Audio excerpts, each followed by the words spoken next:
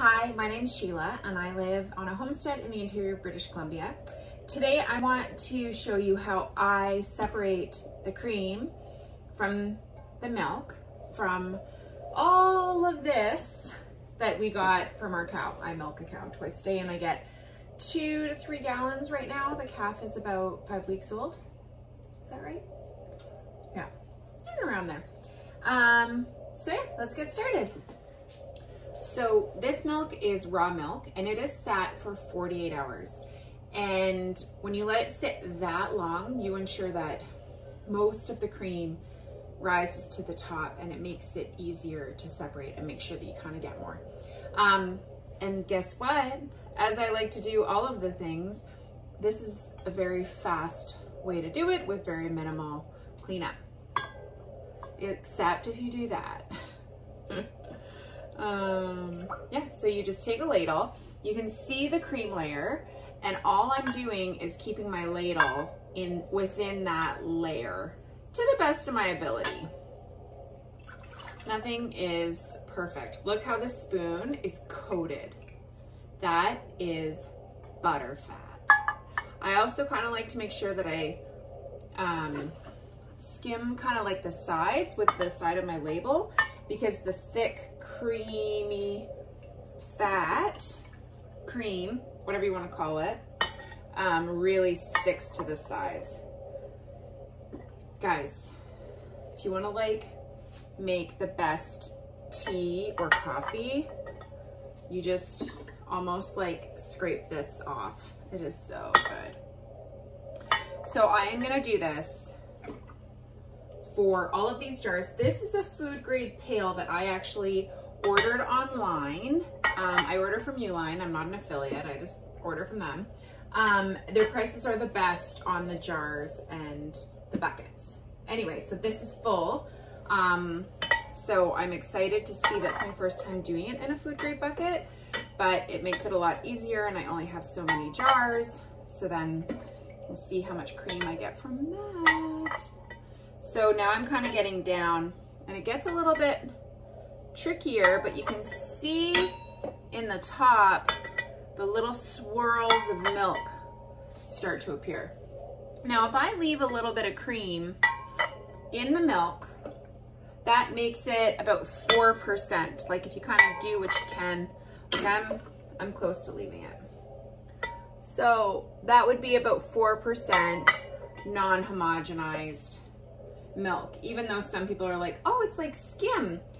It kind of does resemble skim, but with the milk on top, it's about 4%. So I'm gonna go through and do these all up. Um, I am gonna be making creme fraiche, cream cheese, and butter today, but those will be in another video. This video was just cream separating, so I'll link those below. Okay,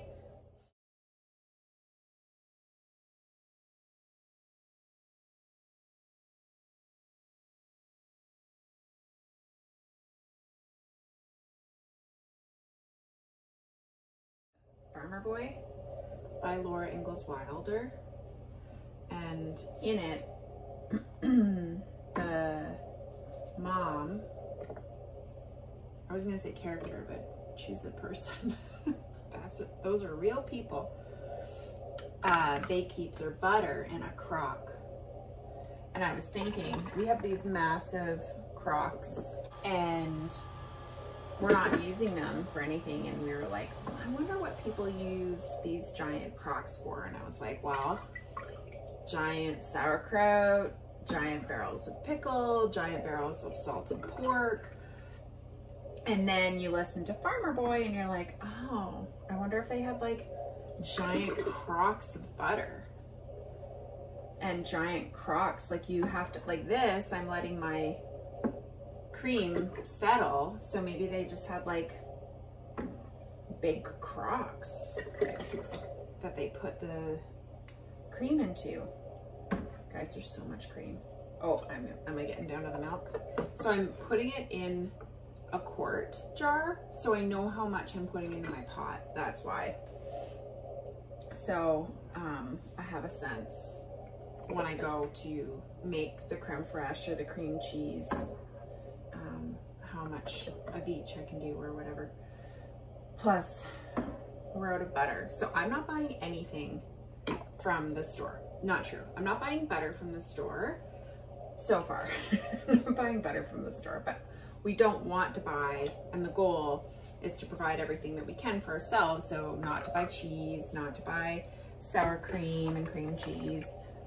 Um, so anyway, that's kind of, this is attempt number one of um, cream cheese. Butter's going good so far, but I definitely have to keep up on it. And getting two gallons a day isn't really that much when it comes to making butter because you use the cream. Like you're not using the skim milk. Um, so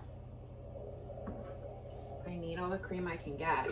So how much do I get off of a gallon? Maybe a quart, maybe just under a quart of cream, which I think would make like a half a pound of butter, I think.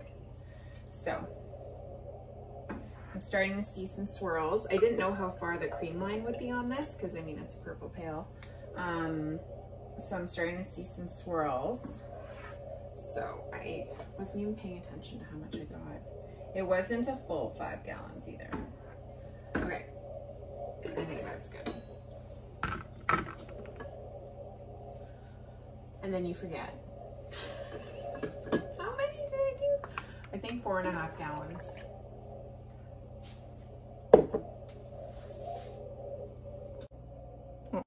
So this is a giant pot of cream. I would say my heart is stopping just looking at it, but only because I'm so excited to. This is the five gallon pail. Now it looks like cream, but if I go and I just grab, see how I'm, you can see that swirl?